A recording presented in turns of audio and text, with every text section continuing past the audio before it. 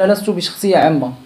أنا إن كنت أرفض أن أن أن يعني أن أظهر بوجهي وباسمي وبمعطياتي الخاصة في أمام الملأ فهذا حقي لأنه أنا لا. أخفيكم سرا. آه، ما تغركمش مظاهر. لا تغرنكم مظاهر. ماشي نبان لكم تنهضر هكا. أنني شخص قوي. ربما. وأنا قوي لأنني تنهضر اليوم بطلاقة. لكن آه، النفسية والأزمات النفسية اللي تندوز منها راه الله أعلى يعني أعلم وتعالى. أول نقطة بغيت نشير لها هو أنني لم أكن لأكون يعني في هذه البلاصة هذه لو تم احترام السير العادي للقضية وعدم محاولة تسييس القضية من طرف مناصري المتهم. لأنه منذ بروز القضية كنت أعتبرها قضية ولا زلت أعتبرها قضية عادلة آه، بين مواطنين مغربيين لا أقل ولا أكثر. لكن آه، المحاولات آه، البائسة للأسف لمن يدعون أنهم يتبنون قيم ومبادئ حقوق الإنسان. وحاشا أن يكون المناضل يساهم في المس بكرامة شخص و يعني المس بحياته الخاصة وتسريب معلوماته الشخصية يعني إلى ما ذلك من مجموعة من آه، التجاوزات الحقوقية للأسف صدرت عن آه، من يسمون أنفسهم حقوقيين وحقوقيات آه، أو كما أسميهم أنا أباطرة النضال أو العشيرة الحقوقية. فيعني منذ البداية كان كان كانوا هاد الأشخاص حريصين على يعني ابتزازي بشتى الطرق واستفزازي ويعني ربما لغرض التراجع أو التنازل عن القضية والاستسلام وهو ما لم يكن ولن يكون. فهاد هاد التجاوزات وهاد الانتهاكات يعني حاولوا أنهم يروجوا لها عن طريق منابر إعلامية عن طريق يعني منظمات اللي من المفروض منها أنها آه، تتبع الحياد في آه، قضية مثل هذه. وكذلك آه، تم تسريب يعني مجموعة من المعطيات الشخصية ديالي من قبيل الصور أنا لست بشخصية عامة. أنا إن كنت أرفض ان ان أن يعني أن أظهر بوجهي وباسمي وبمعطياتي الخاصة في أمام الملأ فهذا حقي لأنه أنا لست بشخصية عامة. وكنت أرفض منذ بداية القضية أنني نتكلم أمام الصحافة وأنني نتكلم أمام الملأ لأنها قضية لا تستدعي كل هذه الضجة. إنما من يحاول آه، آه، يعني الاستمرار في آه، أخذ يعني استراتيجية معينة اللي هي تيقولوا أنه ملف مفبرك وأنها قضية سياسية وإنما الشخص يحاكم على يعني اقلامه الحرة ولا قلمه الحر ولا ما نعرف شنو. ف يعني هؤلاء هم من يحاولون تسييس القضية. على عكسي أنا كنت آه، أحترم المسطرة وأحترم القضية منذ البداية. وحجم الاستفزازات اللي تعرضت لها خلال جلسات المحاكمة راه يعني استفزازات اللي حتى شي واحد ما غادي ما غادي يعني يتقبلها وما غاديش آه، يعني آه، دوز يعني مرور الكرام. وناهيك على المعلومات الشخصية اللي تم تسريبها آه، بدءا من زوجة المتهم اللي كانت تحاول أن تشفي غليلها من عن طريق يعني مجموعة من يعني التدوينات والندوات الصحفية. وتذكر ذكرات بزاف ديال ديال ديال الأشياء اللي هي تعتبر أشياء خاصة جدا كتدخل في نطاق الحياة الخاصة. هي قالتها أمام الملأ وهذا إن كان يدل فيدل على يعني آه، مستواها وتفكيرها وطريقة يعني آه، تسييرها للأشياء. أما أنا فكنت حريص منذ البداية على أنني لا أمس بكرامة آه، المتهم لأنه في نهاية المطاف هو إنسان كأنا. يعني عندنا واجبات ولنا حقوق لا أنا ولا هو. ف يعني قيمي ومبادئي ما كتسمح ليش أنني آه نتهكم عليه ونمس بالكرامة ديالو رغم أنه هو المتهم في آه الملف. آه فيما يتعلق كاين يعني مجموعة من النقاط اللي سجلتها فيما قبل. هو فيما يتعلق بالتسجيل الصوتي التسجيل الصوتي هو تيقول أنه التسجيل الصوتي ليس حقيقيا ومبتور. يعني يجيبوا لي التسجيل الاصلي وأنا ذاك فأنا سأقبل بانني ندير ندير التسجيل الصوتي والحقيقة هو أنه تسجيل صوتي آه، كامل.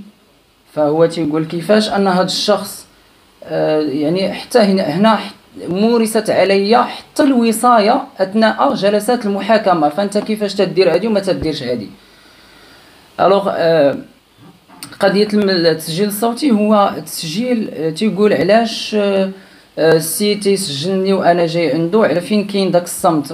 والأصح أنه ما سجلتش المتهم حتى وصل عندي عاد بدأ التسجيل وبدأ التسجيل في الحوار الذي دار بيننا. كاين واحد الاستراتيجية حاليا اتخذتها هاد الجهات اللي هي تتساند المتهم هي كلمة حبيبي وهو صراحة ما يضحكني لأنه كلمة حبيبي تم استغلالها على أنها هو الشخص الذي تعرض إلى التحرش الجنسي من طرفي. فأنا قلت أنه ممكن على سبيل المثال في إحدى التدوينات اللي كتبت أنه نعتقل جميع المغاربة آه، نظرا لأنهم يستعملون آه، كلمة حبيبي. ف كاين ناس تستعمل خالي حبيبي كاين فينا با حبيبي يعني في الحوارات اليومية ديال المغاربه هذه الكلمة ولكن هنا فين كاين الخلة؟ كيف تنقولوا بالدارجة؟ هو أنها تم استعمالها من طرف شخص آه، ذو ميولات جنسية مختلفة. فهذا آه، بحد ذاته آه، اعتبروه أنه شي حاجة اللي اكستراوردينير لأنه شخص ذو ميولات جنسية مختلفة استعمل هذه الكلمة فهو تحرش جنسي. يعني النقطة أخرى اللي اللي آه، كتعلق بالقضية واللي هي زوجة المتهم واللي هي لولاها لما كنت أمامكم اليوم ولا ما كانت للقضية أساس أساسا وجود آه، أنها كانت في وقت مضى إحدى الصديقات الغير مقربات. طبعا كان كانت تجمعنا صداقة صداقة عمل صداقة يعني آه، كنا تنمشيو اللقاءات ديال حزب طليعة آنذاك ويعني لقاءات حقوقية. وهذا ما آه، لا يعرفه الجميع. آه، واستغلوا كذلك هاد الأشخاص المناصرين للمتهم للترويج والتهكم على أنني شخص مناضل. واعتبروا أن نضالي هو نضال يعني كلمات يتم استعمالها ما نقدرش نستعملها آه، بمجرد أنني شخص لا أنتمي إلى آه، المجتمع المغاير وأنتمي لمجتمع آه، مختلف. فللاسف يعني بزاف ديال المعلومات تم الترويج لها يعني لا أساس لها من الصحة. من قبيل أنه في الأول كانوا تيقولوا أن هذا الشخص لا وجود له وهو شخصية وهمية وهو حساب في حساب فيسبوكي وهمي. من بعد بان آدم كشخص اللي هو حي بلحمه ودمه وقالوا أنها آه، يعني قضية ملفقة وأن الشخص يسعى إلى اللجوء الإنساني عن طريق هذه الضجه وهذه الحقيقة أنه كان لي خروج قبل آه، وهذه هذه معلومة قلتها في المحكمة أثناء مواجهتي بهذه الادعاءات الفارغة. وأنه كان في سنة 2019 كان عندي خروج من المغرب كان عندي يعني آه لقاء عمل في الدنمارك. كنت يعني لو كان ممكن يعني أنني أطمح إلى اللجوء ما إلى ذلك فكان ممكن استغلال على الضجه كاملة وهذا العذاب النفسي والأزمات النفسية اللي تنمر منها. ونحط اللجوء ديالي بمريضنا ما عنده بس كيف تنقولوا ما علاقه هذا هادو هادو هادو الادعاءات هادو الادعاءات كانت تتقال في يعني في أثناء مرحلة التحقيق أثناء مرحلة يعني المحاكمات والجلسات فهي مجموعة من الله لكن اللي ضرني أكثر هو أنه كان هناك أشخاص اللي يعرفونني معرفة حقة ويعرفون أنني كنت أحضر ندوات للجمعية المغربية لحقوق الإنسان وكنت أحضر لأنشطة لجمعيات مختلفة ومؤسس مساهم في تأسيس مجموعة من المنظمات الحقوقية. ولكن هاد الناس يحاولون آه، جعلي شخص نكرة منذ بداية القضية. ولكن للأسف هذا ما لم يفلح فيه هاد الأشخاص. وأنا اليوم آه، كيف قلت لكم اضطررت إلى الخروج إلى الإعلام لتنوير الرأي العام مادام هما اختاروا أنها تولي قضية رأي عام فيجب آه، تنوير الرأي العام في مجموعة من المغالطات. الجمعية صراحة قدمت لي مساعدة يعني كبيرة.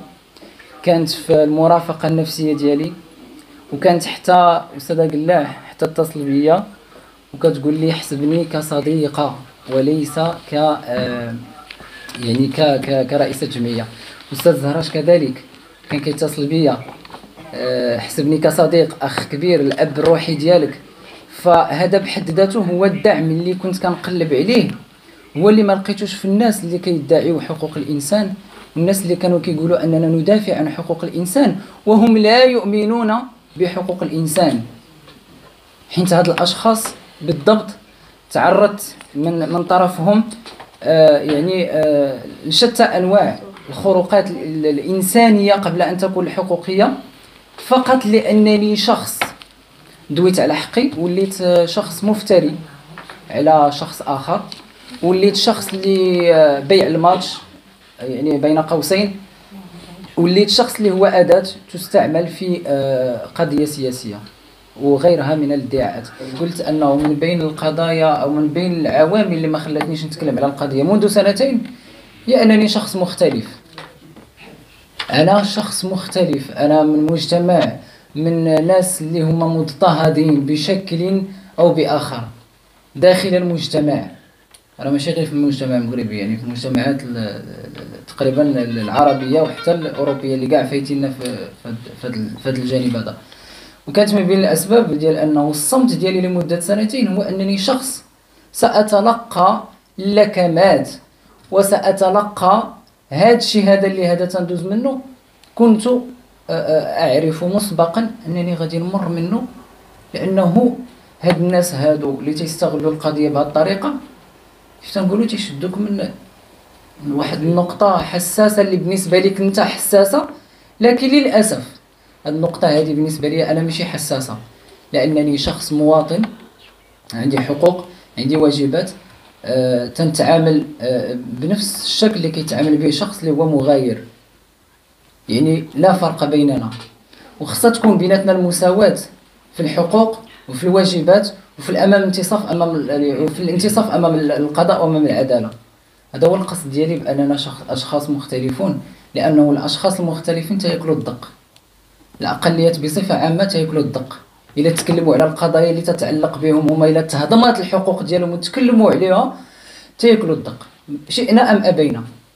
ولكن للأسف النتيجة ولا الهدف اللي بغاو يوصلوا ليه ما وصلوش لأن هذه النقطة بالضبط لا تشكل لي أي آه، شيء يعني شي حاجة اللي غنحشم منها لأنني أنا كينونه أنا كائن كأيها كائن لي حياه خاصة كما لي الباقي حياة خاصة.